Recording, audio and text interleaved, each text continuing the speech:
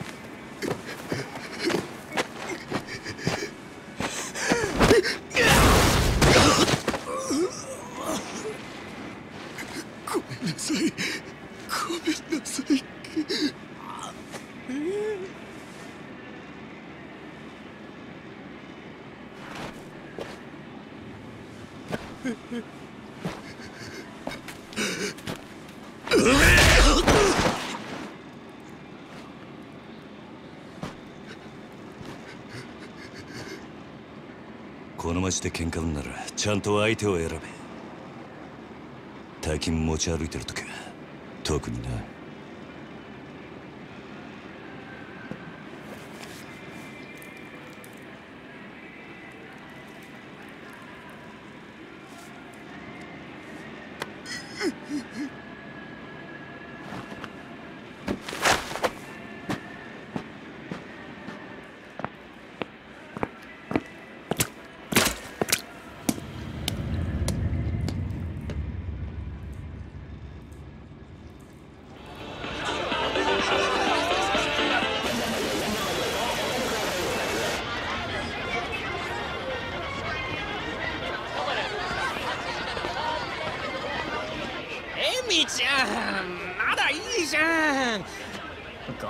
んな時間さすびら切ったってタクシー捕まんないんだから。やだもういいから宅代出してよ。あじゃあさプラザのスイートでも取るよ。だから俺と朝まで。ねね？なんだてめえ。言ってんだよおいちょっと待てよこれ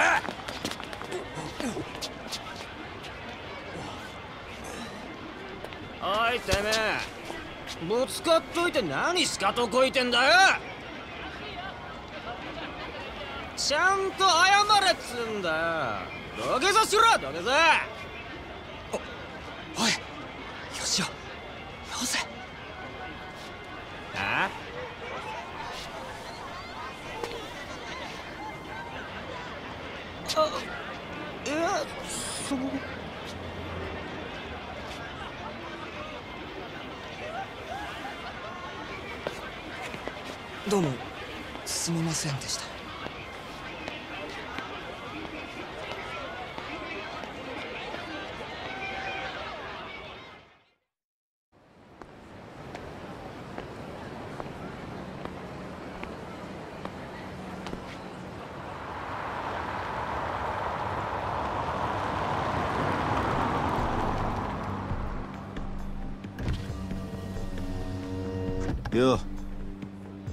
頼んでおいた仕事。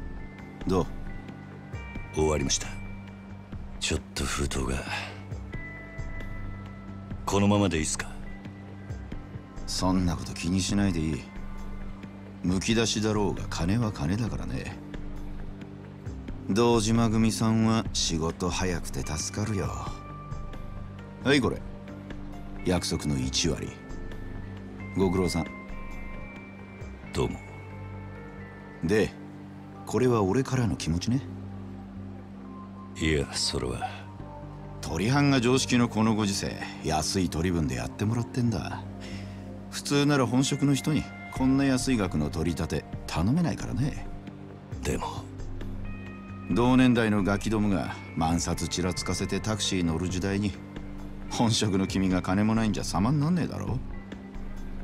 まこれは俺との初仕事を終えたご祝儀みたいなもんだ。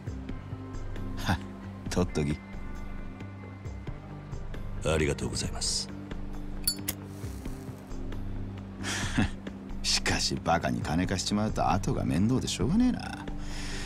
30万ポッチ捨てんのは簡単だが回収しとかねえと商売としてのけじめがつかねえ。なあ。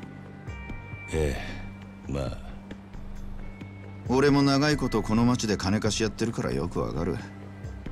今の世の中金の本当の価値が分かってるやつなんてほとんどいやしない。その点学のない君の方が高学歴の若造よりよっぽど分かってる気がするんだけど。そうじゃない？俺には分かりません。それじゃこれで。なあうちに来ねえか？兄ちゃん。君の腕っぷしならヤクザやるよりもっと簡単にもっと多くの金が稼げる。いい飯腹いっぱい食っていい女を好きなだけ抱ける。それだけじゃない。金さえあれば不幸な人間を幸せにすることすらできる。ヤクザは下積みが長え手っ取り早くのし上がるにはうちに来て稼ぐってのもいい選択だと思うんだが。3年前にその言葉を聞いてればそうしてたかもしれません。けど一度極道になったもんは時間を巻き戻せない。それが答えか。ヤクザには誰かを幸せにすることなんてできないんすかね。さあな。俺はヤクザになったことねえからわからねえ。ま気が変わったらいつでも連絡してくれ。じゃ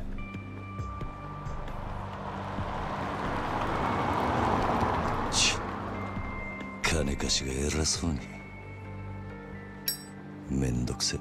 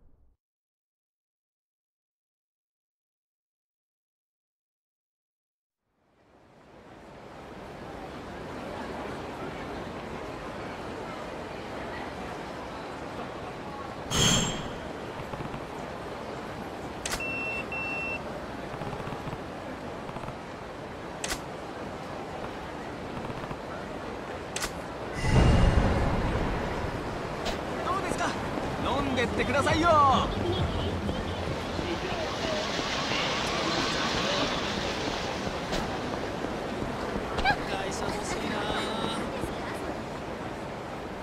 ほら早く金貸せって。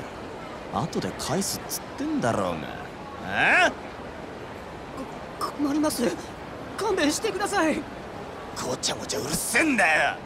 いいからさっさと出せ誰か助けて。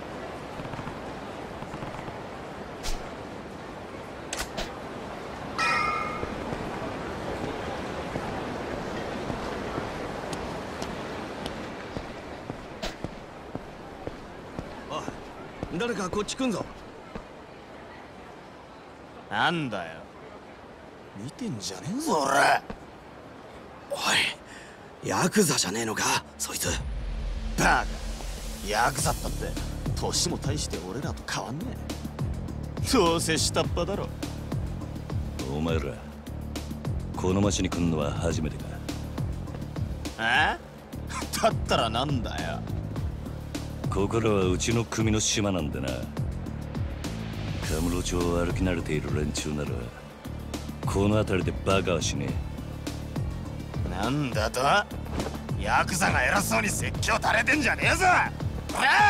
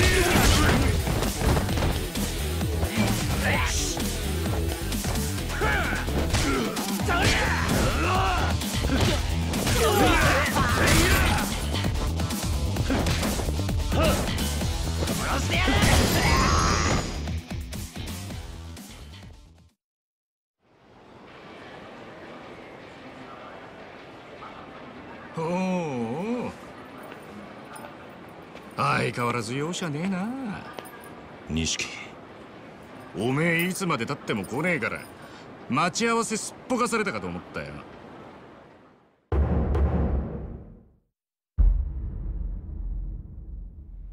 逆だ。おめえがなかなか来ねえからこうやって時間潰してたんじゃねえか。暇つぶしに喧嘩って。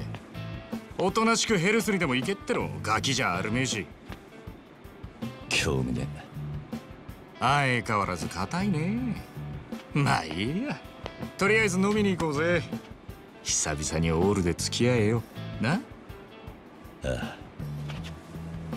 あのあありがとうございました。は？いやえっとここの度はどうも。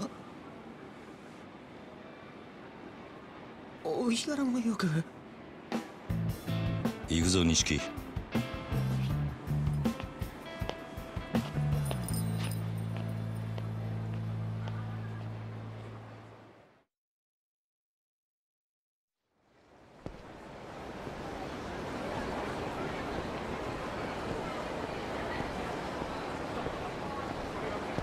しかしよお前も様になってきたよな。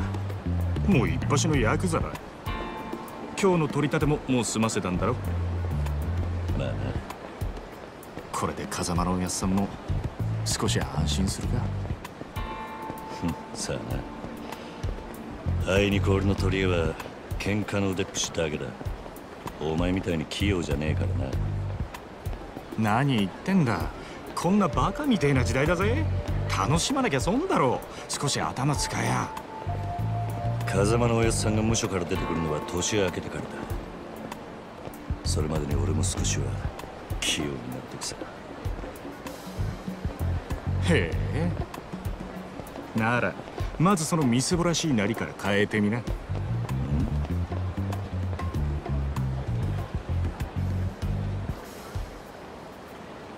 お前もたまには50万のスーツでも着てみろよ。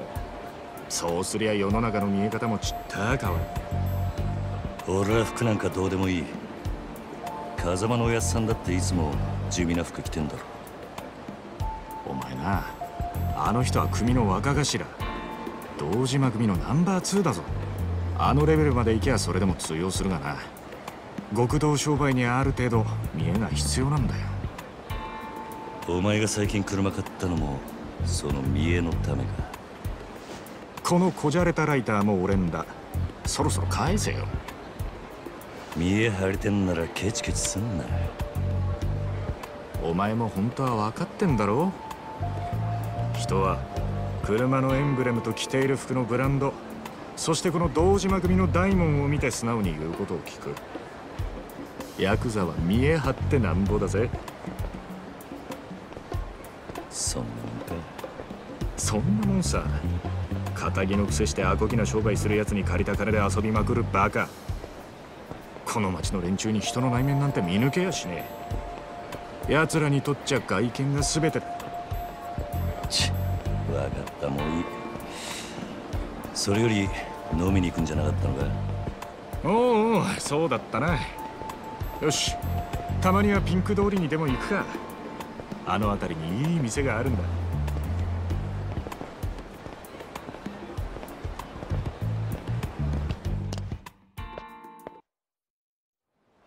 行くぞ。おい気をつけろよ。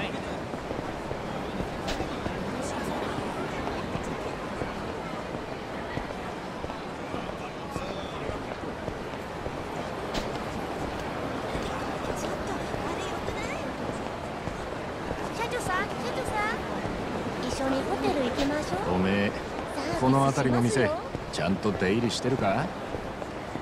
当たり外れも含めて何でも知っとかねえとな。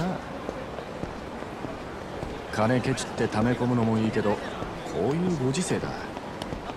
金は使いようで売買にもなる。でその手の情報をつかむには街で遊んでアンテナ張らねえとな。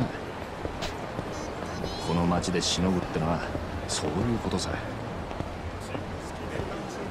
可愛い女子大生がよりどりみどりと言われついていったらバーバーばっかり。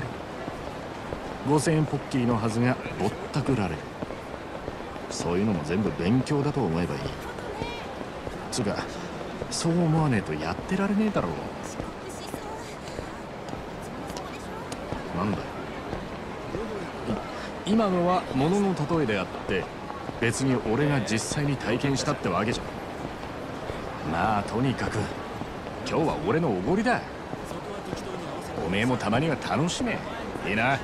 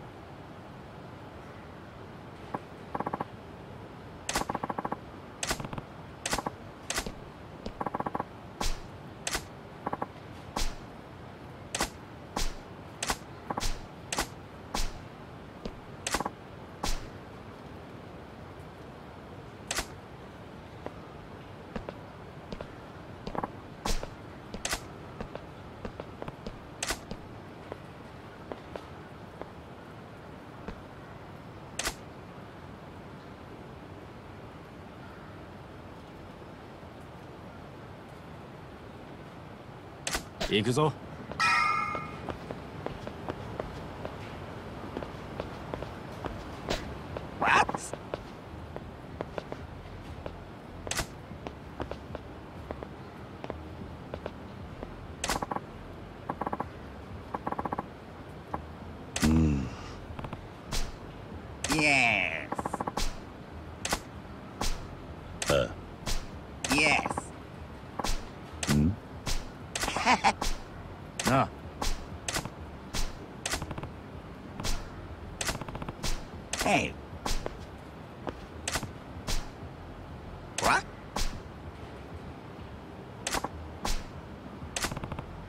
now.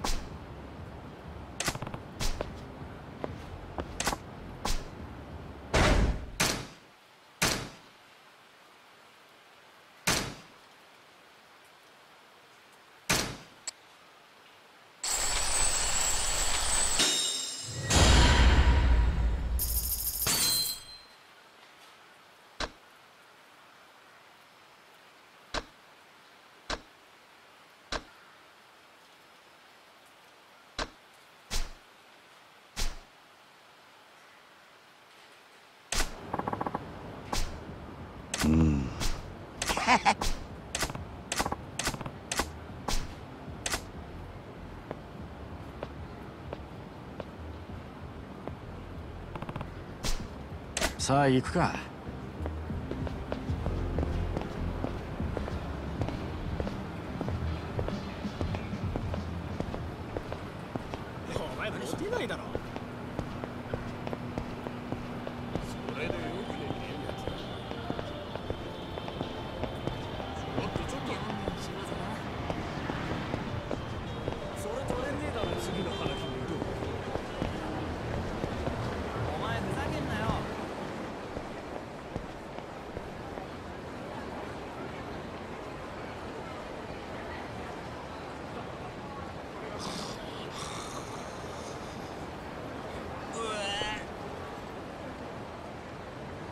たく相変わそいつらが酒やら女やら欲しがって集まる場所なんだ。このカンボジョって町は。なんだ。不器用なりに一応分かってんじゃね見直したか。錦山くん。えかよなんだあいつら。う 現役女子大生ホステスのまどかちゃんとゆいちゃんだ。あねえポケベル鳴らしてるんだから電話してよ。今度いつお店来てくれるの？今日後で顔出すよ。本当に？なんだよ。俺の言うこと疑ってる？うん信じたいけどな。そんなこと言うなよ。ほらお小遣いだ。や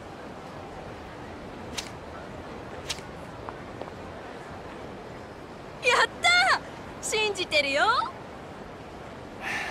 女ってのは器用なもんだね。ありがとう。じゃあまた後でね。待ってるよ錦山くん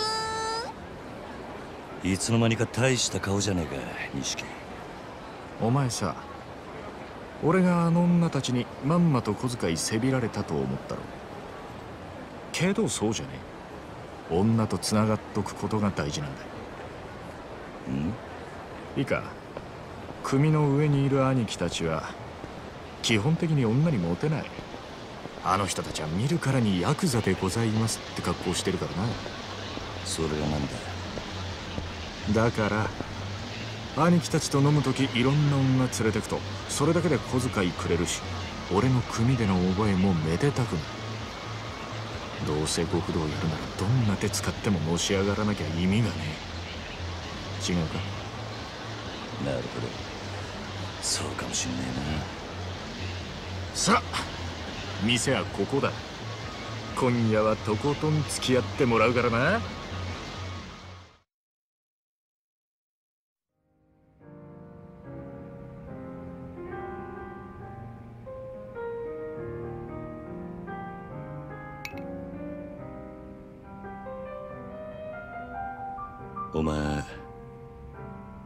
この店にはよく来んのか？ん？これで二度目だけどなんでだボトルキープなんかしてるからよ。常連なのかと思ってな。ちまちまビール飲むより見栄えがいいだろう。店のもんに顔も売れる。俺は安く見られるのはごめんなんだな。なるほど。お前は偉いよ。確かに見栄ってのを大事にしてるおめえもこの世界でのし上がりたきゃ少しは見習えよ。うん。つってもおめえはそういうタイプじゃねえってことか。俺はおやっさんの背中を追いかけてこの世界に入った。孤児だった俺ら拾ってくれたあの人のためにてめえの体張るくらいしか脳がねえ。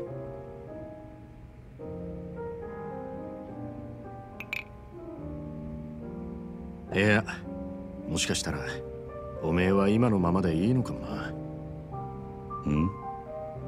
おめえが下で頑張って風間のおやっさんが出世すりゃおめえにも出世の芽が出てくるかもしれない。そういうのし上がり方もあるさおめえは風間のおやっさんの子じゃない。堂島組の組員なんだ。おやっさんなんで俺らのこと風間組に入れてくれなかったんだろうな。そりゃ堂島組の方が格は上だけどさ。よせよ。おやっさんに考えがあってのことだ。まあそうだな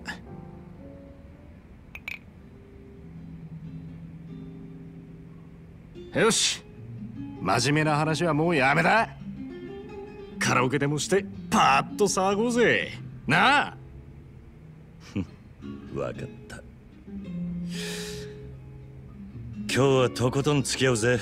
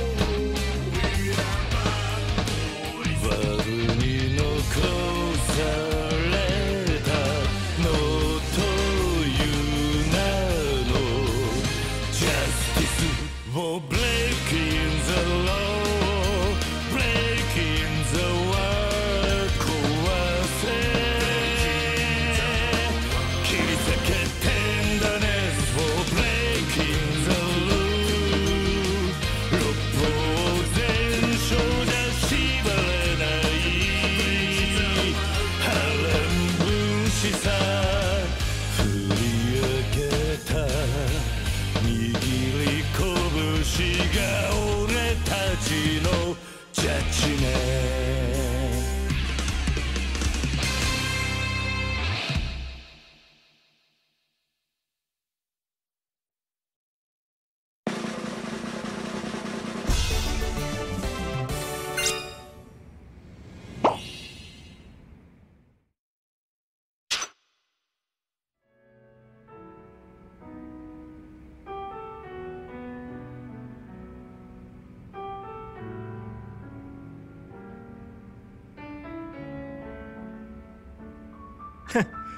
知らなかったぜ。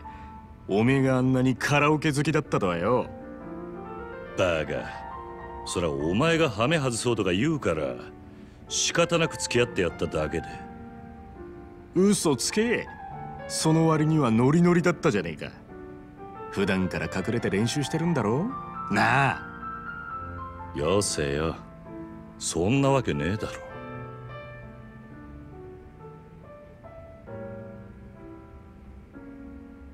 それにしても思いっきり歌ったら腹減ったな。締めにラーメンでも言っとくか？まだ食うつもりか？俺はそんなに腹減ってねえよ。まあいいじゃねえか。付き合えよ。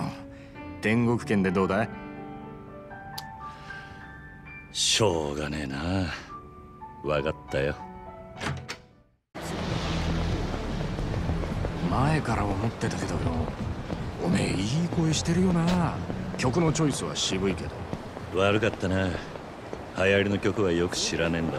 なら少しは勉強しろって。流行りに遅れた男はモテないからな。そうか。つっても男のアイドルなんかは俺も今勉強中だ。知ったかぶりしてなんとかやり過ごしてる。それ周りにバレてんじゃねえのか？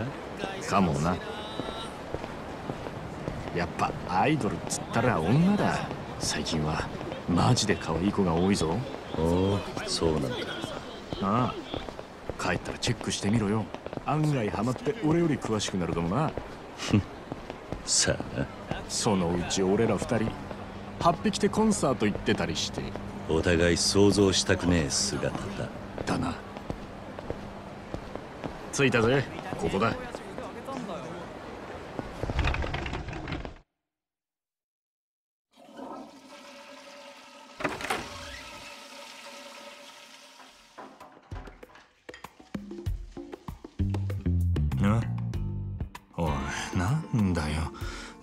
食ってねえじゃんか。だからもう食えねえって言ったろ。大盛りなんか頼みやがって。情けねえこと言うなよ。それでも男が。昨夜11時頃カムロ町の一角で発見された若い男性の変死体は激しい暴行を受けており警視庁では殺人事件とみて付近を捜査中です。ただいま続報が入りました。若い男性の身元が判明したとのことです死体で発見された男性は都内在住の会社員栗原太一さん32歳。警視庁の調べでは栗原さんは金融業者数社から借金を抱えていたとみられ今後関係者から事情を聞く方針です。おい桐生。ん？カムロ町で殺したと？よくある話だろうが。いやお前昨べの取り立て相手のこと結構痛めつけたって言ってたよな。こちらが栗原さんの死体が発見された現場です。ここって俺が取り立てした場所だ。おいおいお前マジか？いや死ぬまで殴ったわけじゃねえはずだ。この場所はカムロ町で人がごった返すネオン街からわずかに裏道を入った先にあります。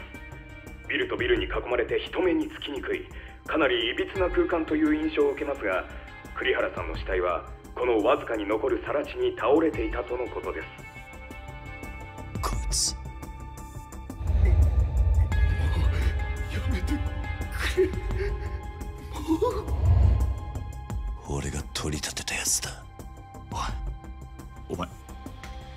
本当に間違いねえのか？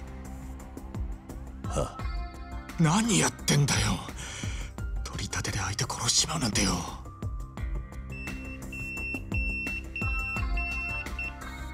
誰からだ？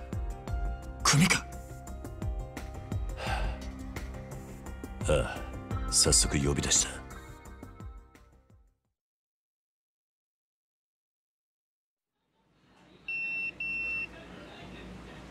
務所に電話してくれ。やっぱり今のニュースの件で呼び出されてんだよな。お前。まずいことになったな。いやお前ももちろんやべえけどこれで風間のおやっさんの立場も危うくなる。何？この不始末につけ込まれちまうってことだ。どういう意味だ？お前や俺がおやっさんに拾われたってことは堂島組の人間なら誰でも知ってる。だからよ俺らの不始末はおやっさんの責任にもなっちまう。だが俺がやっちまったことだ。おやっさんは関係ねえ。そうはいかねえよ。殺しとなるとことがでかい。多分おやっさんの後釜に座ろうって連中は間違いなくそこをついてくる。堂島組若頭補佐の3人とかな。くそそもそも半年前おやっさんが札にパクられたのもその3人の誰かに売られたって噂だ。なんだそれは。おやっさんの仕切ってた鳥羽周到に場所変えてたのにいきなり摘発食らったろありゃ組の事情に詳しいもんが札にチクったとしか思えねえ。でそれが誰かっていや3人の若頭補佐の一人。クゼの兄貴だったって噂だ。クゼの兄貴がおやっさんを札に売ったってことか。もちろん証拠があるわけじゃない。でもよその件でおやっさんが無所に行ってからクゼはえらい勢いついてる。火のないとこに何とやらだ。何しろ今は組に連絡するしかねえ。だろう。そっか。そうだな。分かった。俺はとりあえず知恵貸してくれる人を探してみる。すまね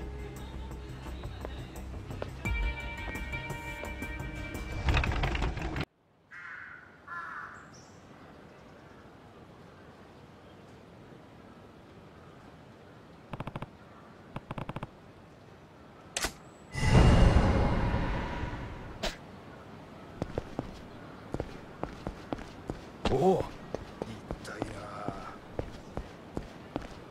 金ならあるって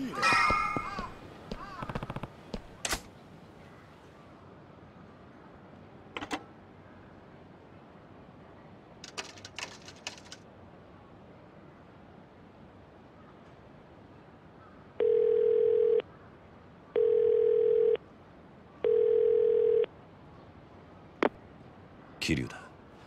そっちで誰か俺のポケベル鳴らしたか？あはい。久世の兄貴に言われまして。桐生さんすぐ事務所までお越し願いやす。実は若頭補佐のお三方が桐生さんをお待ちで。そうか。分かった